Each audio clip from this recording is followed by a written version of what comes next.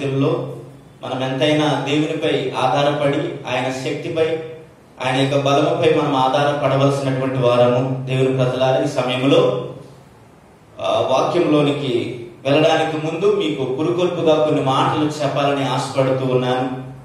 భయపడవద్దు జడియవద్దు.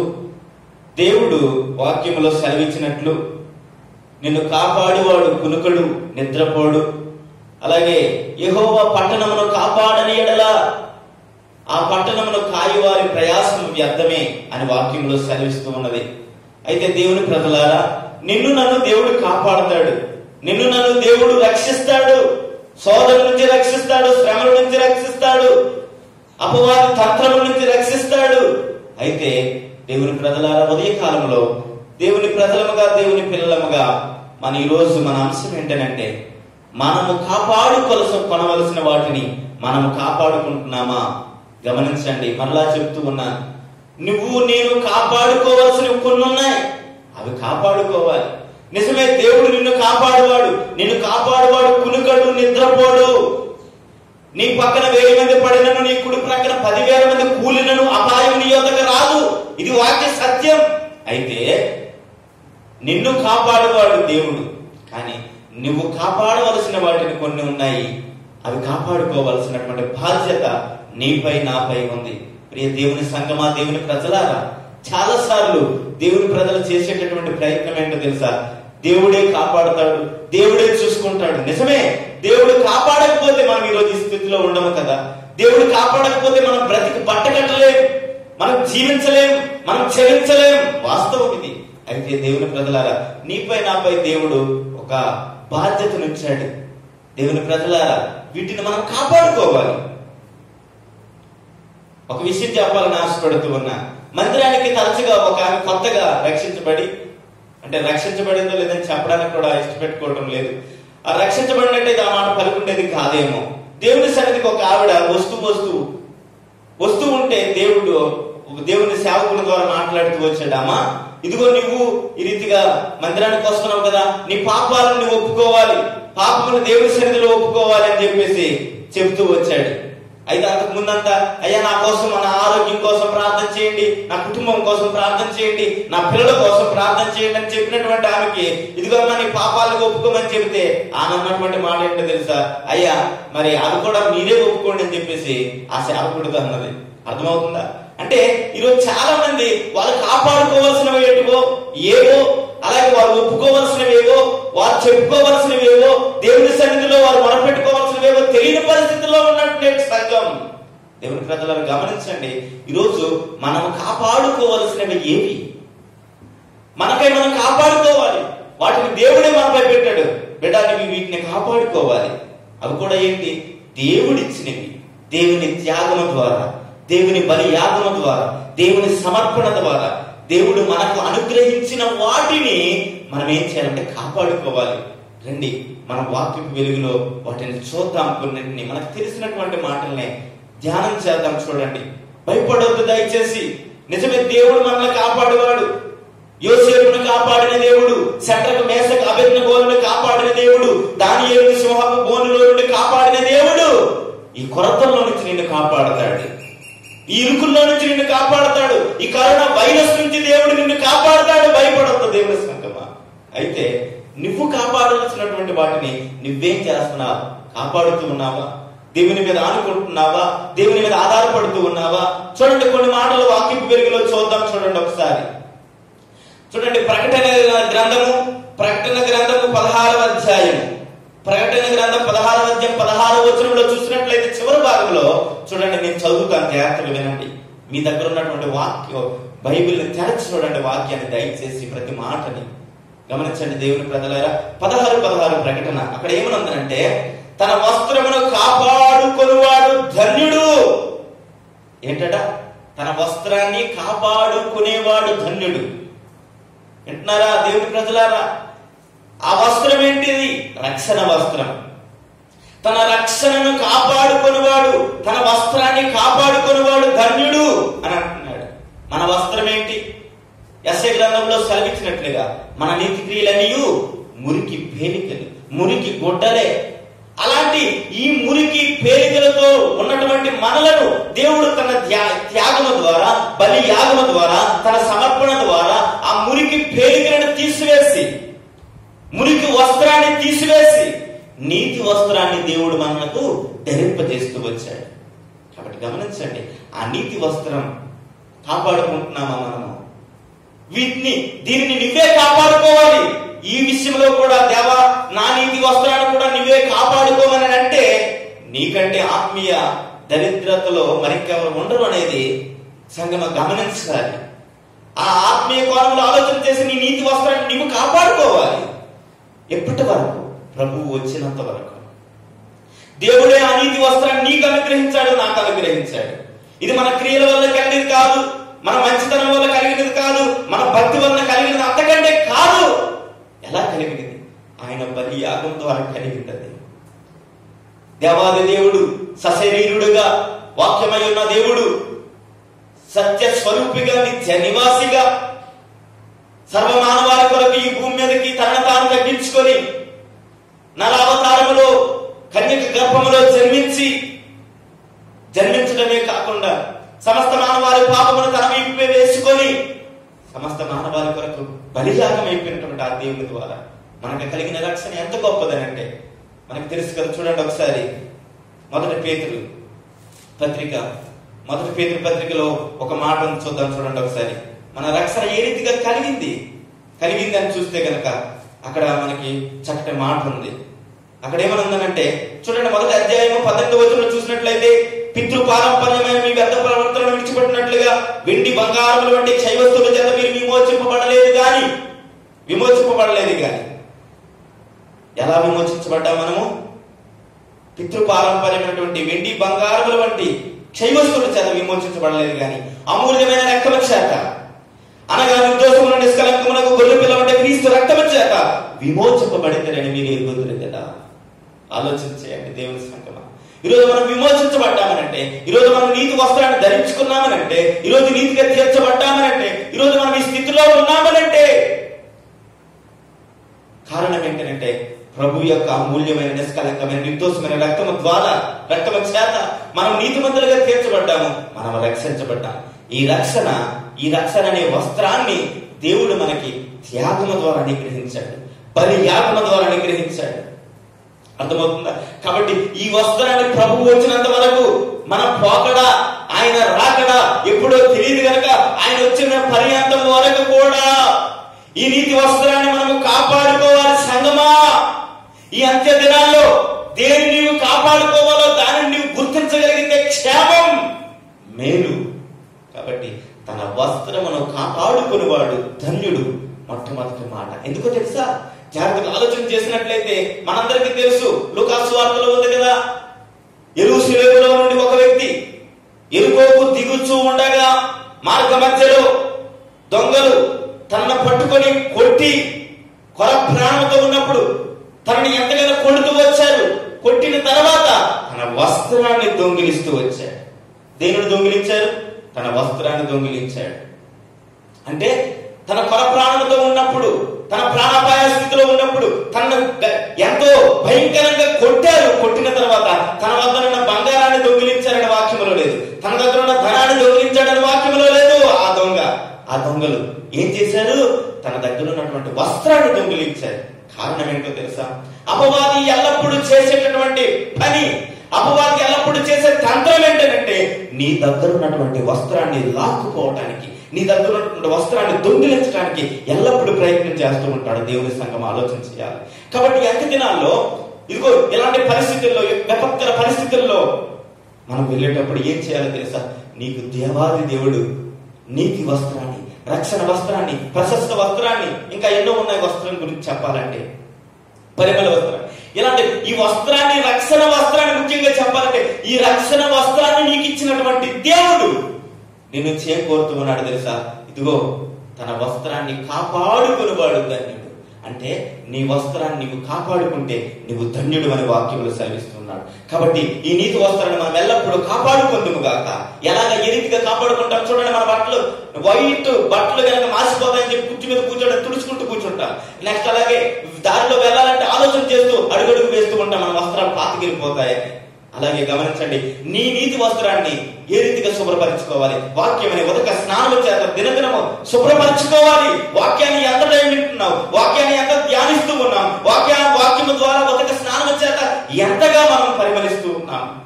గమనించండి కాబట్టి నీతి వస్త్రాన్ని ఇదిగో ఈ రక్షణ వస్త్రాన్ని కాపాడుకునేవాడు ధన్యుడు. నీతి వస్త్రాన్ని కాపాడుకునేవాడు ధన్యుడు. కాబట్టి నీతి వస్త్రం అలాగే రక్షణ వస్త్రం నువ్వు కాపాడుకున్నటువంటి స్థితిలో ఉంటే నువ్వు ఆరాధన చేయాలి ఈ పూట ఒకవేళ ఆ స్థితిలో లేకపోతే ప్రభుని అడగాలి తండ్రి నిజమే నాయన నువ్వు ఇచ్చిన రక్షణ వస్త్రాన్ని నీతి వస్త్రాన్ని నేను పోగొట్టుకుని రీతిగా మరణమైన స్థితిలో ఉన్నాను. నన్ను కాపాడు నన్ను రక్షించు నన్ను విడిపించు. నా పాపం నుండి నన్ను పవిత్రపరచు. అని చెప్పి నీవు వేడుకున్నట్లయితే దేవుడు నిన్ను ఖచ్చితంగా ఆయన ప్రేమ కలిగినటువంటి దేవుడు కనుక నిన్ను విడిపిస్తాడు. తర్వాత మొట్టమొదటి మాట రక్షణ వస్త్రాన్ని కాపాడుకోవాలి దేవుని ప్రజలమైన మనము. తర్వాత ఇంకో రెండవ మాట చూద్దాం చూడండి ఒకసారి. రెండవ మాట చూసినట్లయితే సామెతల గ్రంథం ఏడవ అధ్యాయం రెండవ వచనంలో చూసినట్లయితే జాగ్రత్త గమనించండి. రెండవ మాట రెండవ మాటను ధ్యానం చేస్తూ ఉన్నా చేస్తూ ఉన్నా. నీ కనుపాపవలే నా ఉపదేశమును కాపాడుకొని ఎడల బ్రతుకుదువు. బ్రతుకుదువు. నీ కనుపాపను వలె నా ఉపదేశాన్ని కాపాడుకో అంటున్నాడు ప్రభు. సంగమా వింటున్నారా? ఏం చేయాలంటే రెండవదిగా ఆయన ఉపదేశాన్ని మనం కాపాడుకోవాలి. ఉపదేశం అంటే వాక్యం. ఉపదేశం అంటే బోధ. అంటే నువ్వే బోధ ద్వారా నువ్వు రక్షించబడ్డావో ఏ బోధ ద్వారా నీ సంఘంలో చేర్చబడ్డావో ఏ బోధ ద్వారా ఆయన అంగీకరిస్తూ వచ్చావో ఆ బోధలో నువ్వు స్థిరపడాలి. ఆ బోధను నువ్వేం చేయాలి? కాపాడుకోవాలి. ఉపదేశమును కాపాడుకున్నటువంటి వ్యక్తివైతే కాపాడుకున్నటువంటి దానివైతే కాపాడుకున్న వాడవైతే దేవుడు నిన్ను బల మంచి నమ్మకమైన దాసుడా. లేదా బల నమ్మకమైనటువంటి శ్రేష్టమైన దేవుని భక్తులని చెప్పి నీకు ఖచ్చితంగా పరలోకాన్ని ఇవ్వడానికి ఆయన సిద్ధముగా ఉన్నాడు. గమనించండి దేవుని ప్రజలారా. మనం చాలాసార్లు ఏం చేస్తున్నామో తెలుసా? ఉపదేశాన్ని కాపాడుకున్న స్థితిలో మనం లేము నేటి కాలంలో మనం చూసినట్లయితే ఎన్నో చోట్ల ఎన్నో విధాలుగా ఈరోజు విపత్కరమైన బోధలు రోజు రోజుకి దొంగ బోధలు అబద్ధ బోధలు వ్యతిరేకిపోతూ ఉన్నాయి. సంఘాలలో సమాజంలో జాగ్రత్త గమనించినట్లయితే దొంగ బోధలు తయారవుతూ ఉన్నాయి. ఇలాంటి స్థితిలో మనం ఉన్నాం కదా. నువ్వు ఏ బోధ ద్వారా అయితే రక్షించబడ్డావు? ఏ బోధనైతే ద్వారానైతే దేవుడు నీ రక్షకుడని నిన్ను రక్షించేవాడని నీ పాపం నుంచి విడిపించాడని ఆ బోధ మీద నువ్వు కట్టబడ్డావా? ఆయన మరణ భూస్థాపన పునరుత్థానములను కూర్చినటువంటి ఆ సందేశము ద్వారా కదా మనం రక్షించబడ్డాం. ఆ సందేశంలోనే ఇంకా మనం ఉన్నామా లేదనంటే మన చెవులు కోరుకున్న దానికి ఎన్నో విపత్కరమైన బోధలు తయారైనటువంటి స్థితిలో ఉంటూ ఉండగా ఆ బోధల వైపు నువ్వు ఆకర్షితుడవై ఆకర్షితురాలువై నీ రక్షణ నువ్వు పోగొట్టుకున్న స్థితిలో ఉన్నావా? కాబట్టి ఆ బోధను నువ్వు ఏ రీతిగా ఏ రీతిగా నువ్వు కలిగి ఉన్నావో ఆలోచన చేయాలి ఆ బోధ. ఉపదేశం. ప్రభు అంటున్నాడు కదా ఏంటో తెలుసా? మత స్వార్థ నాలుగు నాలుగులో ఏమని అంటున్నాడంటే ఇదిగో మనుషుడు రొట్టె వలన మాత్రమే కాదు గాని దేవుని నోట నుండి వచ్చి ప్రతి మాట వలన జీవించను. ఎందుకు ఈ మాట చెప్తున్నానంటే ఆ బోధ మామూలుది కాదు సామాన్యమైనది కాదు. ఆ బోధ మనం విన్నట్లయితే ఆ బోధన మనం పాటించినట్లయితే ఆ బోధన మనం అనుసరించినట్లయితే ఆ బోధ ద్వారా మనం జీవిస్తాం మనం. ఆ బోధ ద్వారానే మనం జీవించగలుగుతాం. కాబట్టి ఆ ఉపదేశాన్ని ఆ వాక్యాన్ని మనము గట్టిగా పట్టుకున్న వారమై ఉండాలి. పట్టుకున్న వారమై ఉండాలి. ఇంకా మన వాక్యంలో ధ్యానించి చూసినట్లయితే ఎస్ఐ గ్రంథం యాభై ఐదవ అధ్యాయంలో మొదటి నుంచి కూడా చూసినట్లయితే ఓ రోకలు లేని వారులారా నా దగ్గరికి రండి రోకలు కొనుక్కోండి అని చెప్పేసి అంటున్నాడు. నీరు లేని వాళ్ళారా నా దగ్గరికి వచ్చి దప్పికి తీర్చుకుని అని అంటున్నాడు. అంతేకాకుండా ఇంకా మూడో వచనంలోకి వెళ్ళినట్టయితే ఏమంటున్నాడో తెలుసా? అక్కడ మనం ఆలోచన చేసి చూసినట్లయితే ఏమంటున్నాడంటే మీరు వినిన ఎడలా మీరు వినిన ఎడలా మీరు బ్రతుకుదురు. ఎంత చక్కటి మాట. అంటే దాని అర్థం ఏంటి తెలుసా? నువ్వు నేను బ్రతకాలనంటే ఆహారం తీసుకోవటం లేదంటే నువ్వు నేను బ్రతకాలనంటే నేడున్నటువంటి పరిస్థితులను బట్టి ప- శుద్ధి చేసుకోవటం హ్యాండ్స్ సోషల్ డిస్టెన్స్ ఇలాంటివి కాదు. ఇవి పాటిస్తూనే ఏం చేయాలో తెలుసా? నువ్వు నేను దేవుని ప్రజలారా ఏం చేయాలో తెలుసా? వాక్యాన్ని వినాలి. వాక్యం వినినట్లయితే ప్రభు అంటున్నాడు. యాభై ఐదు ఎస్ఐ గ్రంథము మూడవ వచనం చూసినట్లయితే మీరు వినిన ఎడల బ్రతుకుతారు. ఏమి వినాలి? వాక్యాన్ని వినాలి. కల్పన కథలు కాదు. దుర్బోధలు కాదు. సరైన వాక్య సత్యంలో నీవు ఉండగలిగితే వినగలిగితే నువ్వు ఖచ్చితంగా నీవు ధన్యుడు ధన్యురాలు కాబట్టి గమనించండి ఆ వాక్యాన్ని నువ్వు నేను వినగలిగితే శ్రేష్టమైన వాక్యాన్ని నువ్వు నేను వినగలిగితే మనం బ్రతుకుతాం గనక వాక్యాన్ని వినే వినే స్థితిలో మనం ఉండాలి. ఎందుకో తెలుసా? నేటి కాలంలో బోధనతో పాటు ఎన్నెన్నో విపత్కర పరిస్థితులు ఎదుర్కొంటున్నాం ఈ నేటి కాలంలో. నేటి కాలంలో తక్కువ టమార గజకర్ణ గోకర్ణ మాంత్రిక తాంత్రిక విద్యలు లోకములోనే కాదు నేటి సంఘాల్లో కూడా ఎక్కువైపోతున్నాయి. అంతే కదా? నూనె బాటిల్ అమ్ముకున్నాడు ఒకడు కట్సిపులు అమ్ముకునేవాడు ఒకడు తొడగొట్టున్నాడు ఒకడు ఇంకా ఎన్నెన్నో మనం చూస్తున్నాం పరిస్థితి ఏమయ్య బోధ నీకు ఇచ్చాడు దేవుడు. ఆ బోధల్ని సంతోషంతో నీవు ఉచితముగా పొందుకున్న దానిని ఉచితముగా దేవుని ప్రజలకు ఇవ్వాల్సింది పోయి నేటి కాలంలో ఆ నూనె బాటిల్ అమ్ముకునే వాళ్ళు ఎక్కువైపోయారు. నేటి కాలంలో కర్సిప్లు అమ్ముకునే వాళ్ళు ఎక్కువైపోయారు. అంతేకాకుండా స్వస్తిసాలు అట స్వస్తిసాలు వాక్యం మీద కడుతున్నామా మనము? అందుకే కదా చాలా మంది అంటున్నారు మీరు గొర్రెలు గొర్రె బిడ్డలు అని చెప్పేసి అంటున్నారు. అందుకే స్వస్థతాలకు బదులు గొర్రెశాలను పెట్టుకుంటే బెటరేమ్మా ఎక్కడండి ఈ వాక్యంలో ఉంది? ఏ రీతిగా ఉంది వాక్యంలో వాక్యం పాటిస్తున్నామా మనము? జాగ్రత్తగా ఆలోచన చేయాలి. ఆలోచన చేయాలి. మిమ్మల్ని విమర్శించేటంత గొప్పోడు కాదు కానీ ఆ రోజుల్లో కనుక చూసినట్లయితే అపోసుడైన పౌలు నడిచినటువంటి నడకలో తన వస్త్రపు చెంగుల్లో స్వస్థత ఉంది? అలాగే చచ్చిపోయిన సైతం ఐతకైనటువంటి వ్యక్తిని లేపాడే పేదలు సైతం ఎంతమందిని స్వస్థపరుస్తూ వచ్చాడే ఈ రీతిగా ఆయన నమ్మినటువంటి ప్రజలు ఎన్నో స్వస్థతలు చేస్తూ వచ్చారు. అంత మాత్రమే స్వస్థత కూడికలు పెట్టారా? అంత మాత్రం చేత వారు నూనె బాటలు అమ్ముకున్నారా కక్షిపులు అమ్ముకున్నారా వారు వస్త్రాలను అమ్ముకున్నారా? లేదే! కానీ ఈరోజు రోజు ఎందుకు మనం ఈ రీతిగా ఉన్నాం ఈ స్థితిలో ఉన్నాం? కారణం ఏంటో తెలుసా? నమ్మినోడు ఉన్నంత కాలం కూడా దోచుకున్నోళ్ళు ఉన్నంత కాలం కూడా దోచుకున్న మోసపోతూనే ఉన్నారు గమనించండి. ఈ వాక్యం ఉంటున్నటువంటి దేవుని ప్రజలారా దేవుడు కోరుతున్నది ఏమిటో తెలుసా? నీ విశ్వాసం ఉండాల్సింది నూనె బోటల మీద కాదు. నీ విశ్వాసం ఉండాల్సింది కచ్చిపుల మీద కాదు. నీ విశ్వాసం ఉండాల్సింది కేవలం సేవకుల మీద కాదు. ఆ సేవకుడికి ఇచ్చినటువంటి ఆ సేవకుడికి ఆత్మనిచ్చింది ఎవరు? ఆ సేవకుడిని రక్షించింది ఎవడు? ఆ సేవకుడిని నిలబెట్టుకున్నది ఎవడు? దేవుడు కాదా? దేవుని బలియాగము కాదా? త్యాగము కాదా? అలాంటి సేవకుడిని నీవు చూస్తున్నావే?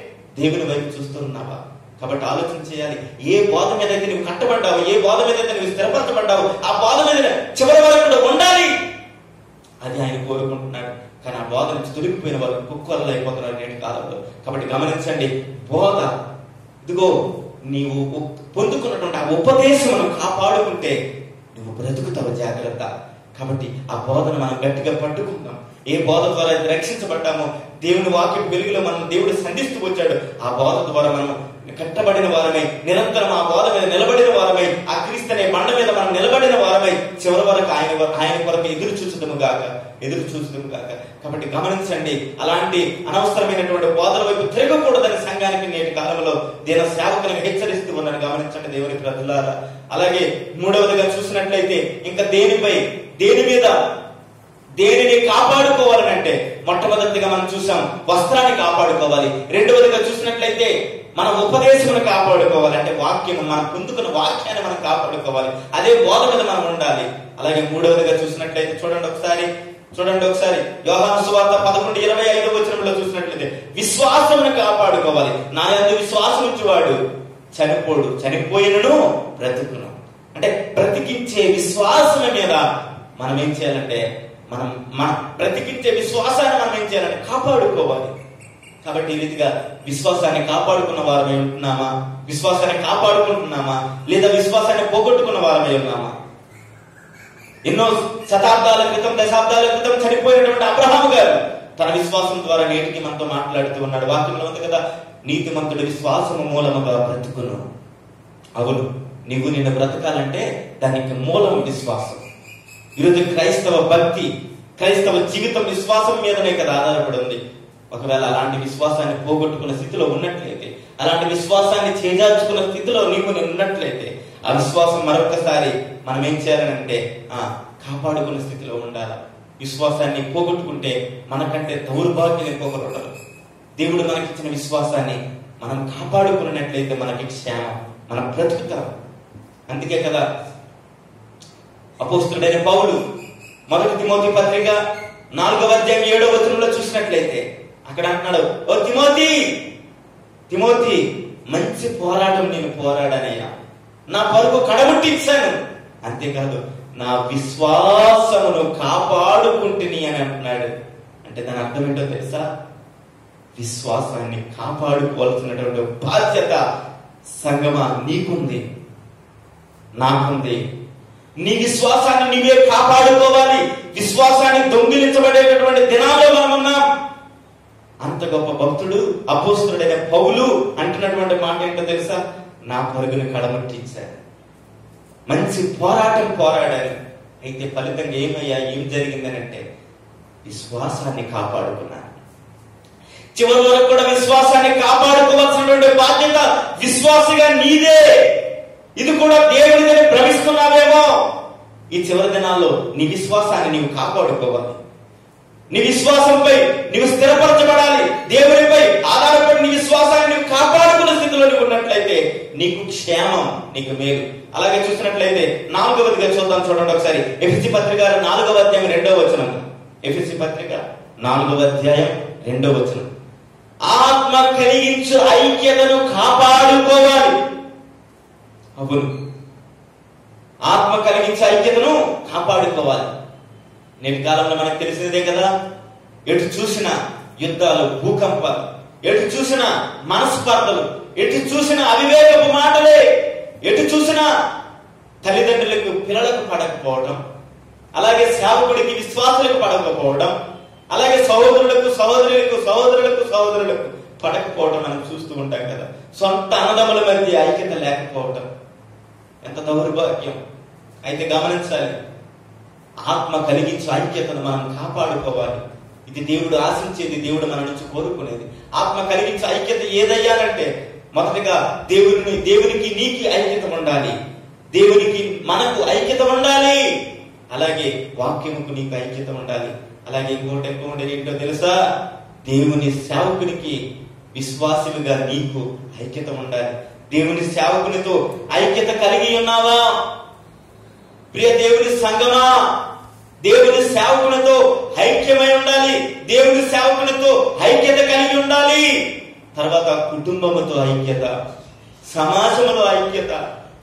అందుకే కదా వాక్యములో ఒక మాట ఉంది సహోదరుడు ఐక్యత కలిగి ఉండుట ఎంత మేలు ఎంత మనోహరము? నూట పదమూడవ కీర్తన నూట ముప్పై మూడవ కీర్తన మనకు తెలిసిందే కదా. అంతేనా? లోకంలో మనకు ఒక సామెత తెలుసు ఐక్యత కలిగి ఉంటే ఆ, ఐక్యమత్యమే మహాబలం అని అన్నాడు. అంతేకాదు వాక్యం చెప్తున్న సత్యం ఏంటో తెలుసా? ఎక్కడ ఇద్దరు ముగ్గురు కూడి నా నామం పేరట ఏకీభవించి ప్రార్థన చేయుదురో? ఆ, ఇద్దరు ఏకీభవిస్తేనట భూమి మీద దేవుడు బంధిస్తే ఆకాశం దాన్ని బంధిస్తానంటున్నాడు. అంటే